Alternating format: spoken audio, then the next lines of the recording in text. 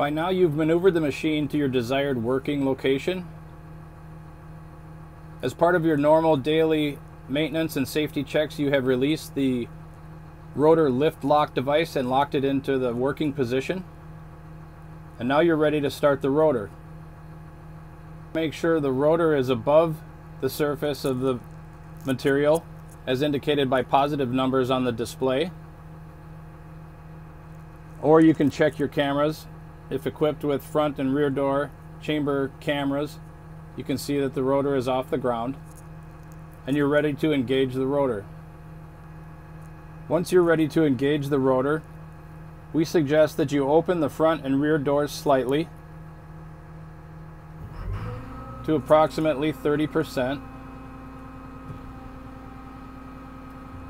using the rotor door raise and lower buttons located on the joystick.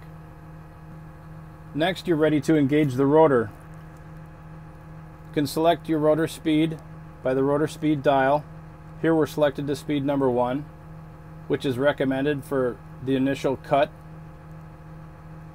Simply push and hold the rotor activation button until the pilot light lights.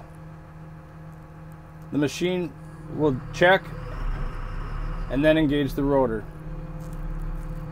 You can now set the engine speed to working speed by touching the engine speed button. Again, it lights the pilot light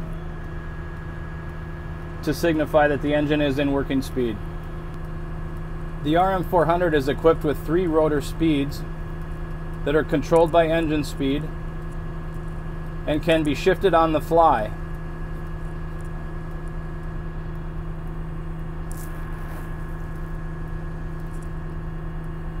First speed is an engine speed of 1600 RPM at 108 revolutions per minute for the rotor. Second, 1950 RPM of the engine for 134 RPM of the rotor. And third at 2300 RPM of the engine at 159 RPM of the rotor.